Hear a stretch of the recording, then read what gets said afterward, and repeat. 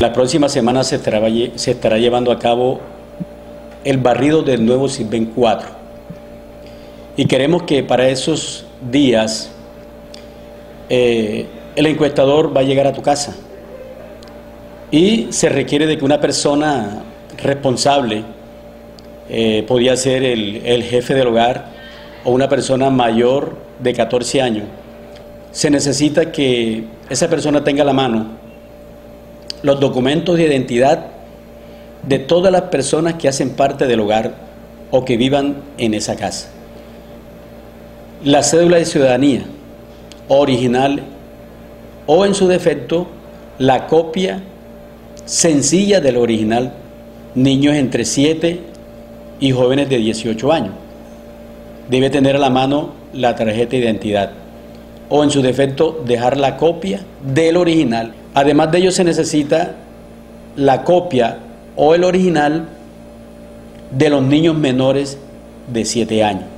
También deben tener a la mano los recibos de los servicios públicos, luz, agua, gas y todo lo que, lo que tengan en la casa. Si en tu casa hay personas venezolanas, para que esa persona pueda ingresar al CIBEN, deben tener la cédula de extranjería o en su defecto pueden ingresar al CIBEN con el pasaporte o con un permiso especial que les pide la Cancillería. Para que este proceso sea un éxito, se requiere de que esos documentos de identidad estén a la mano el día que te van a visitar en tu casa. Vamos a publicar los días que el encuestador estará en la zona urbana y en los barrios para que usted esté pendiente para que el encuestador pueda hacerte la encuesta. Si una persona